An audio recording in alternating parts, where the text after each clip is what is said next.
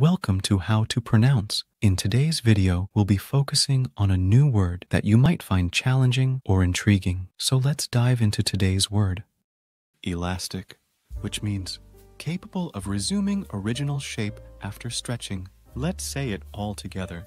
Elastic. One more time. Elastic.